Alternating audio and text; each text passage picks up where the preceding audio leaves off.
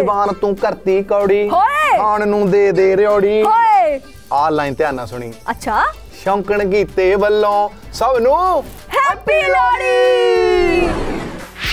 ਦੇਖੋ ਸ਼ੌਂਕਣ ਫਿਲਮਾਂ ਦੀ 11 ਜਨਵਰੀ ਸ਼ਾਮੀ 7 ਵਜੇ।